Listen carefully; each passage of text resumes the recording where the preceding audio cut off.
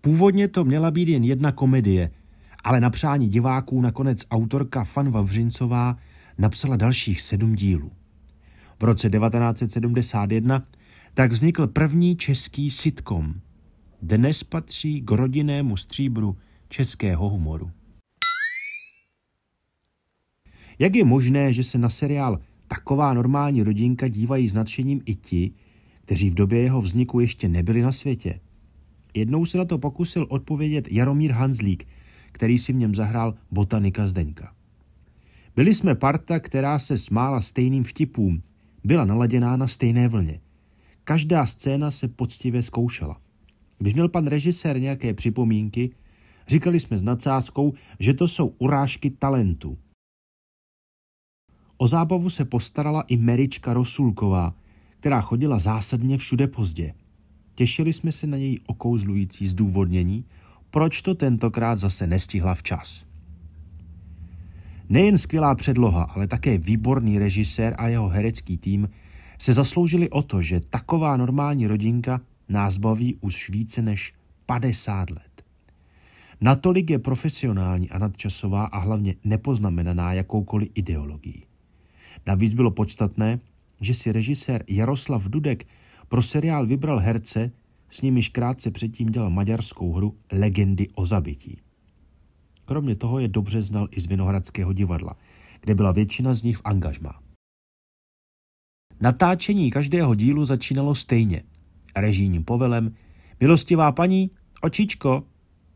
Při něm se v té době již 70-letá Merička Rosulková pokaždé opatrně rozhlédla škvírou ve dveřích svého pokoje, jestli je vzduch čistý, a pak se vydala ze schodu dolů do haly. V hlavě přitom měla plán nové vraždy pro svou další detektivku. Jen jestli se jí povede to ciankály, vlastně arzen, včas dát všem do kafe. Každý den byla na place spolu s herci přítomna i autorka Fan Vavřincová, vlastním jménem Věra Němotová, která se s Medičkou zblížila a chodila s ní na kafíčko i k ní domů. Fan byla o 16 let mladší, ale s herečkou si velmi rozuměla. Navíc si natáčení užívala.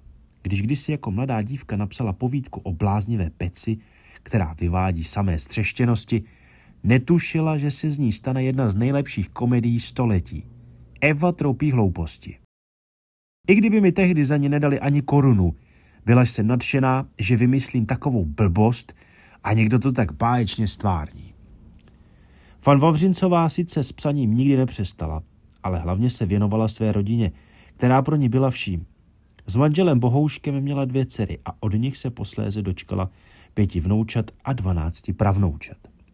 Skvělý scénář Fan Vavřincové ještě povýšili báječní herci, kteří přicházeli na natáčení s vlastními nápady. Například Merička vnesla do scénáře svou vlastní hlášku. Děti moje, to přece není žádný problém. Těžko si dnes představit, že původně měla babičku Hanákovou hrát Liuba Hermanová. Také skvělá herečka Dana Medřická v seriálu Maminka Hanáková, která své rodince skvěle vyvářela a jídlem zachraňovala nejednu prekérní situaci, přišla s vlastním nápadem. Své monology bude prokládat známými operními áriemi. A šlo jí to věru znamenitě. Nikdo netuší, s jakými fóry by byl nastoupil do role malíře pokojů Pavel Landovský, který však musel být na pokyn z hora vystřídán Jaroslavem Moučkou. Nějaké scény se sice s Landákem natočily, ale v zápětí musely být vystřiženy.